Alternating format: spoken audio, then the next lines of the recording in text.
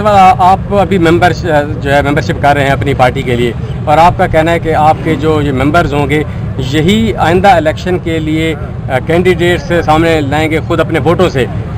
तो अगर आपके जो मेंबर्स हैं, वो कोई ऐसा कैंडिडेट ले आते हैं जो निचले तबके से है, पढ़ा लिखा, साफ़ सुथरी शख्सियत का किरदार का मालिक है, लेकिन माली तौर पर इतना मुस्तकम नहीं है। अगर आपके जो मेंबर हैं, वो उसको आगे ले आते हैं एज अ कैंडिडेट तो क्या आपकी पार्टी फिर उसको माली तौर पर सपोर्ट करेगी? ये जो हमने फैसला किया कि मेंबरशिप करके अपनी पार्टी में इलेक्शन करवाना यही इनकलाब है।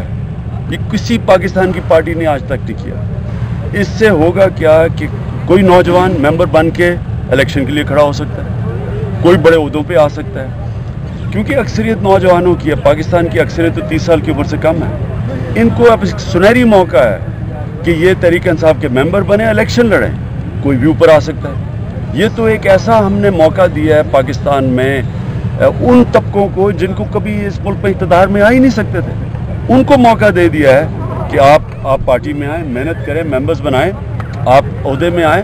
आप, और अगर आपको सारी आपकी डिस्ट्रिक्ट कहती है कि जी ये इसको, ये सबसे बेहतरीन कैंडिडेट अगर उसके पास पैसे ना भी हुए, पार्टी उसके लिए पैसे जमा करेगी इलेक्शन लड़ने के लिए। तो यही इनकलाब है।